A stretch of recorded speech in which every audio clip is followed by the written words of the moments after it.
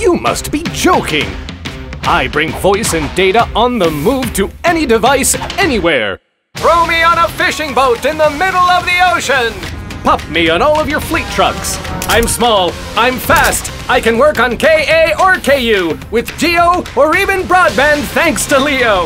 But for some reason, they're selling me for just a few hundred bucks? I'm Smartellite Dynamic, and for what I do, I'm worth a whole lot more.